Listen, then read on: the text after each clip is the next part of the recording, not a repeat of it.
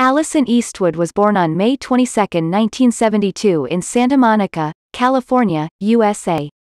She is an actress and director, known for Midnight in the Garden of Good and Evil, 1997, Tightrope, 1984, and Absolute Power, 1997.